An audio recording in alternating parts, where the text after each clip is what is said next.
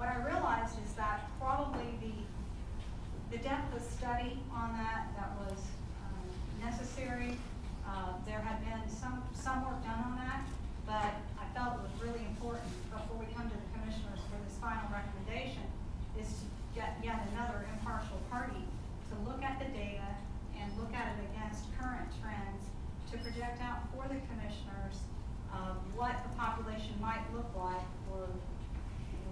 will look like based on statistical analysis. So with that, um, I have today uh, Scott Moore, and Scott is from Integrus. Integrus is a uh, architectural firm that builds jails, and I'll let him tell, tell a little bit about himself, but uh, Scott has worked with Maxwell Construction, but we hired him independently to do this evaluation, and he's gonna present to you some information uh, that's gonna help probably uh, hopefully will help you in your decision, because there'll be actual factual information here.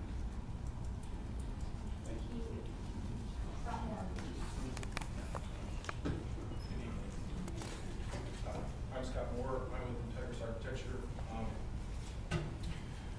We've been around for fifty-something years and probably done over three hundred correctional projects, in probably twenty-seven states in the United States, Canada, Hawaii, Alaska. Uh, we- We've been, are working on our fourteenth um, US Embassy for the State Department in uh, Afghanistan right now as well.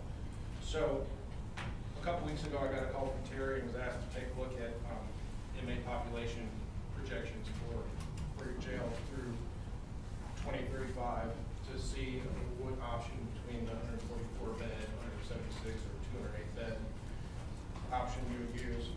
Um, To give you a little background on um, population projections, they're, they're difficult to narrow down because there's so many factors involved. Um, The the county population, the demographics, the national and regional crime trends, along with arrest rates and court dockets and warrants served and unserved and, and uh, alternative incarceration programs, along with location and possibly a casino that may have some effect on, on the jail size.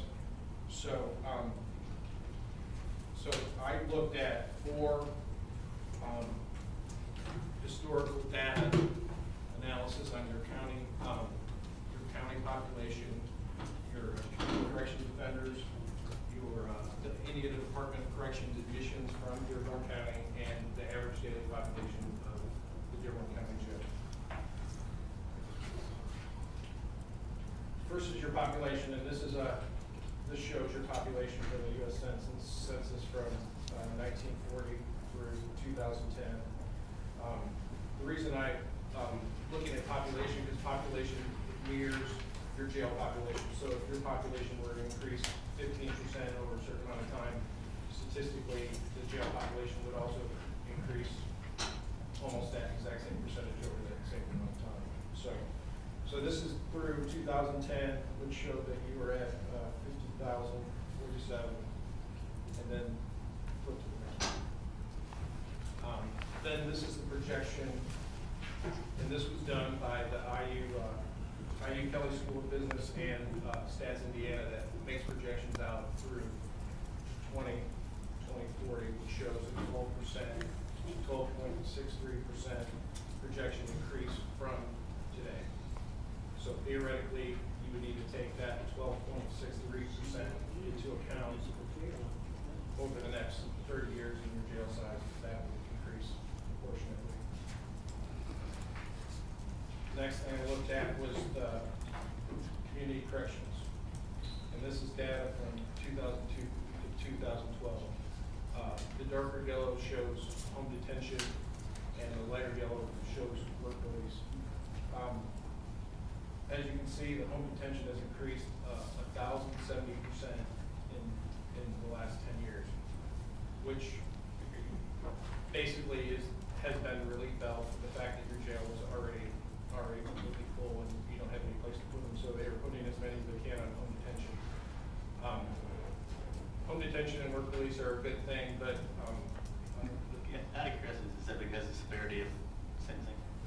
is what? Is Is that because of the severity of the sentencing for, for non-violent crimes? Just out of curiosity, is that part of it?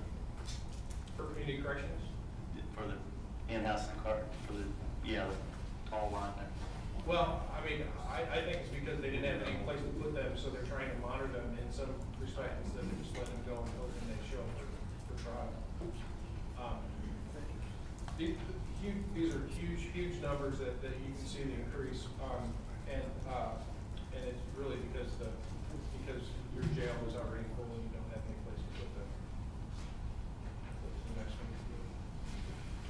I also looked at the admissions from two thousand five to two thousand eleven from Indiana Department of Corrections. The dark blue line is the, the male inmates, and the light blue line is So as you can see, in two thousand eleven, there was two hundred and fifty-three inmates sent to the, the DOC. The reason I look at these numbers is, one, these are, these are more violent offenders. They typically have multiple felonies against them. They have multiple years once they are sentenced. But the other factor that you need to take a look at is, most of these people will probably be in, in your jail for at least six months from when they're arrested until the trial date because of court dockets and extensions and everything else. Because if they're going to jail for a long time, they drag it out as long as they possibly